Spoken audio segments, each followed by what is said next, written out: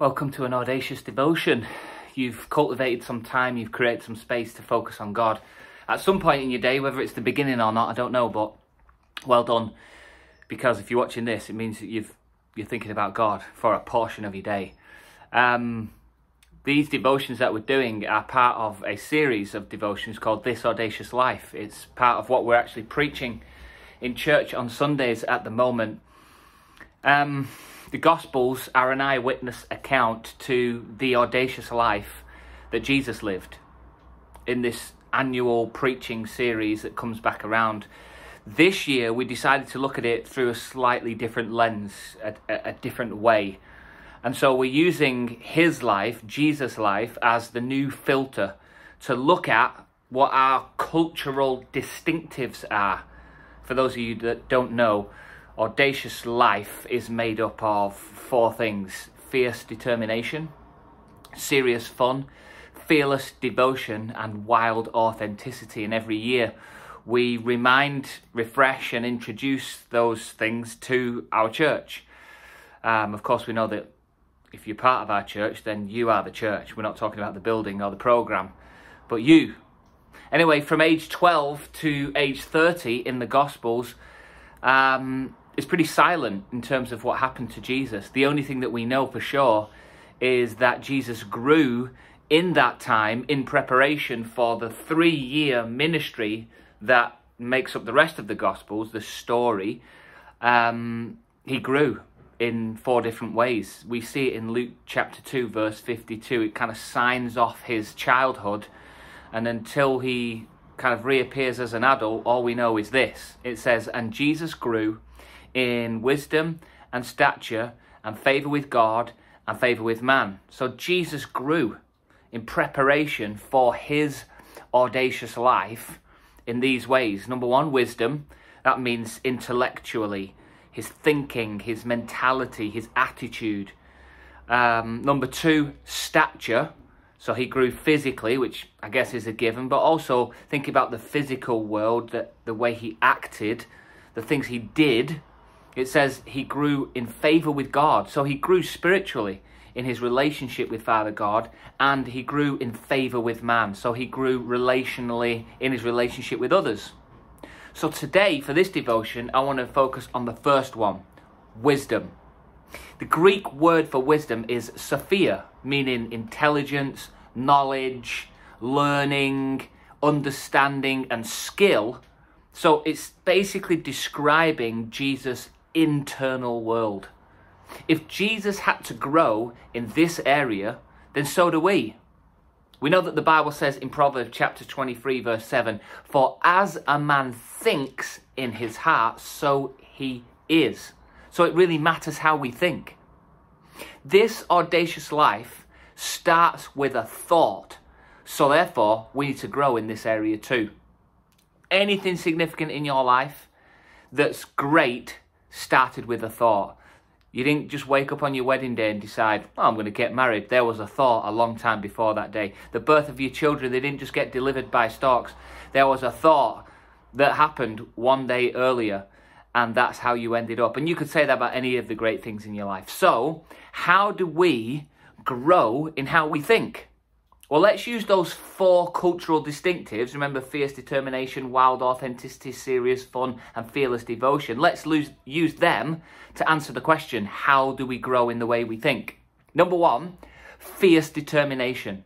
So the Bible tells us in 2 Corinthians chapter 10 verse 5 it says these words we demolish arguments and every pretension that sets itself up against the knowledge of God and we take captive every thought to make it obedient to Christ.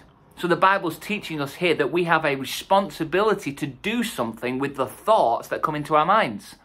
One of the best ways that we can do that, I'm talking about taking a thought captive, one of the best ways we can do that is by replacing that thought. Any thought that comes into our heads that's against the things of God, we can replace it with a thought or a truth from His Word. The Bible says in Isaiah that His thoughts are higher than our thoughts. And so if we have a thought that's not in line with what God wants, we can re- replace our thought with a God thought. That's why we need to read the Bible. That's why doing this devotion is good, and that's why I keep quoting from Scripture in this devotion, because a good man, Jesus said in the Gospels, brings good things out of the good stored up in him. This audacious life starts with a thought, so with fierce determination, take every thought captive and replace it with His. Number two, wildly authentic. There's a reason why boxers, fighters, have a trainer in their corner. It's so that between rounds, when they're tired and considering throwing in the towel, they have more than just their own fierce determination to combat those thoughts and feelings. The coach can remind them of all that they've learned in training. He can tell them that there's more in them than they think and that they can keep going. In other words, their voice can be another voice in the boxer's head as opposed to just their own voice. So, nobody knows our thoughts, but with some wild authenticity, we can tell someone our thoughts and therefore add their fierce determination to ours. This audacious life starts with a thought. So take a breath, ask the Holy Spirit to help you and give you some courage, and then be wildly authentic with someone this week. Number three, seriously fun. In order to commit to being wildly authentic, we're going to have to get over ourselves. We're going to have to stop taking ourselves too seriously. We're going to have to stop believing our own press and our own Instagram profile and our own Facebook page and recognize that if we have too much concern over our reputation, then it's going to be a major barrier to us letting someone see the real us. In other words, a barrier to wild authenticity. This audacious life starts with a thought.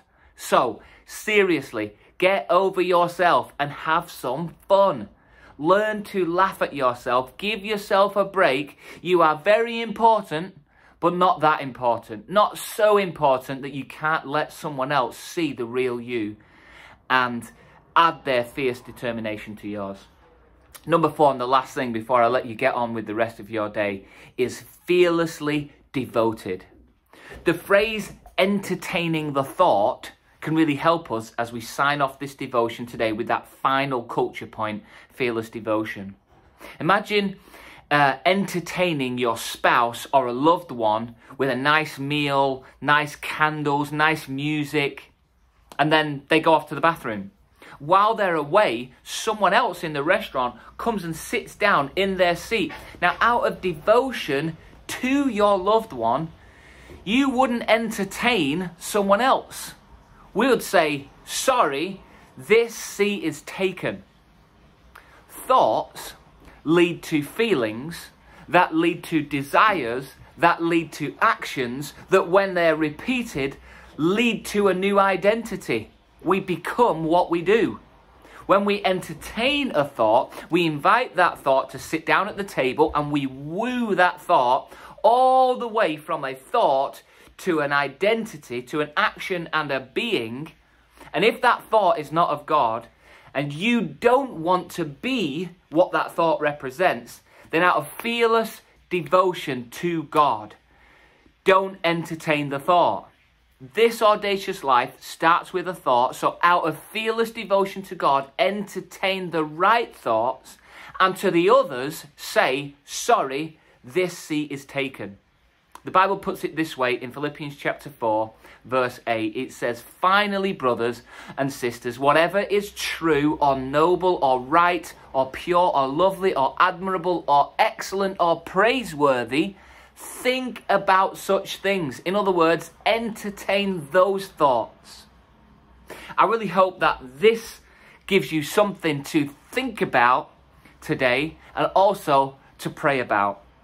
I absolutely love you, Audacious Church. Have a fantastic day. God bless you.